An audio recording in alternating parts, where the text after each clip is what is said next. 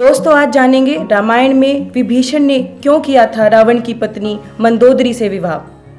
सामान्य तौर पर रामायण की कहानी में लोगों की दिलचस्पी रावण की मृत्यु के बाद कम हो जाती है और वो नहीं जानते कि फिर मंदोदरी का क्या हुआ। मंदोदरी कौन थी, इसे लेकर भी कोई जानकारी रामायण में नहीं दी गई है और फिर रावण की मौत के बाद मंदोदरी को विभीषण से शादी क्यों करनी पड़ी थी। लॉकडाउन के दौरान रामायण का दोबारा प्रसारण जारी है। धारावाहिक में कहानी अब अपने आखिरी पड़ाव की तरफ़ बढ़ रही है। भाई कुंभकर्ण और पुत्र मेघनाथ की मृत्यु के बाद अब रावण युद्ध लड़ेगा। रावण की पत्नी मंदोदरी इस युद्ध के सदा खिलाफ थी। वह चाहती थी कि रावण सीता को वापस कर दे, लेकिन ऐसा नहीं हुआ। पुराणों की एक कथा के मुताबिक मधुरा नाम की अप्सरा कैलाश पर्वत पर भगवान शिव की तलाश में पहुँची। तलाशते हुए जब वो भगवान शिव के पास पहुँची तो उसने वहाँ पार्वती को न देखकर शिव को रिझाने का प्रयास शुरू कर दिया। जब कुछ समय बाद वहाँ पार्वती पहुँची तो उन्होंने मधुरा के शरीर पर शिव की भस्म देखी और फिर वो क्रोधित हो गई। पार्वती ने मधुरा को शाप दिया कि वो 12 साल तक मेंढक बनी रहेगी और कुएँ में उसका वास होगा। मधुरा को अपनी गलती की कीमत चुकानी पड़ी जिस समय ये सारी घटनाएँ घट रही थी, उसी समय कैलाश पर असुर राजा मायासुर अपनी पत्नी के साथ तपस्या कर रहे थे। बारह वर्षों तक दोनों तप करते रहे। इधर मधुरा के श्राप का जब अंत हुआ तो वो कुएँ में ही रोने लगी। सौभाग्य से असुर राजा और उसकी पत्नी दोनों कुएँ के नज़दीक ही तपस्या में लीन थे। जब उन्होंने रोने की आवाज़ सुनी तो कुएँ के पास गए।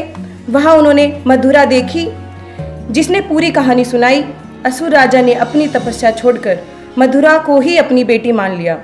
मधुरा का नाम बदलकर मंदोदरी कर दिया गया।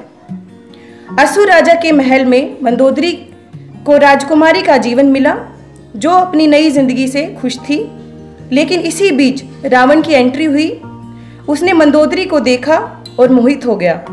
उसने मायासुर से मंदोदरी का हाथ मांगा। ये प्रस्ताव ठुकरा दिया तो क्रोधित रावण ने मंदोदरी का अपहरण कर लिया। दोनों राज्यों में युद्ध की स्थिति बन गई, लेकिन मंदोदरी जानती थी, रावण उसके पिता से ज़्यादा शक्तिशाली है, इसलिए मंदोदरी ने रावण के साथ रहना स्वीकार कर लिया। मंदोदरी का चरित्र रामायण में बेहद नैतिक दिखाया गया है। जब रावण ने सीता का अपहरण किया था, तब मंदोदरी ने इसका विरोध किया। मंदोदरी बार बार रावण को समझाने का प्रयास करती रही कि दूसरे की पत्नी का अपहरण अपराध है। लेकिन रावण नहीं माना। आखिरकार राम के साथ युद्ध में रावण की बुरी तरह पराजय हुई। वह मारा गया और मंदोदरी विधवा हो गई। रावण की मौत के बाद भगवान राम ने मंदोदरी को विभीषण से शादी का प्रस्ताव दिया था। उन्होंने समझाया कि विभीषण के साथ मंदोदरी की ज़िंदगी बेहतर रहेगी। लेकिन मंदोदरी ने इस प्रस्ताव को अस्वीकार कर दिया। कहा जाता है कि इसके बाद एक बार भगवान राम, सीता और हनुमान दोनों के साथ मंदोदरी को समझाने गए थे। तब मंदोदरी ने ये प्रस्ताव स्वीकार कर लिया और विभीषण के साथ शादी की। दोस्तों, आपको वीडियो में दी गई जानकारी अगर अच्छी लगी हो तो कमेंट करके बताएँ और वीडियो को लाइक ज़रूर करें।